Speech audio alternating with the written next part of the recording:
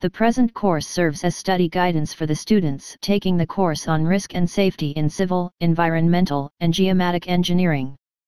The aim of the present course is to provide to the students both the basic and more advanced skills and tools of risk and reliability in engineering.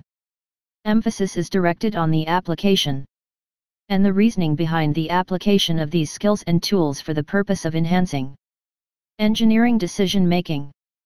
It is expected that the students have prior knowledge on the subject of statistics and probability corresponding to the basic level of a Bachelor of Engineering.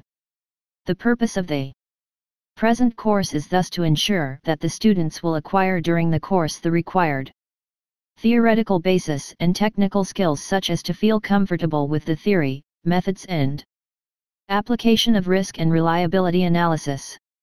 Moreover, in the present course as opposed to many standard courses on the same subject, the perspective is to focus on the use of the theory for the purpose of engineering risk assessment and decision making.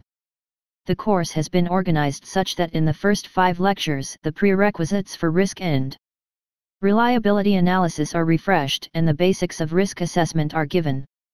In the following six lectures more advanced topics of reliability analysis and tools for reliability analysis are provided. Finally in the three last lectures applications are provided together with the topic of Risk acceptance.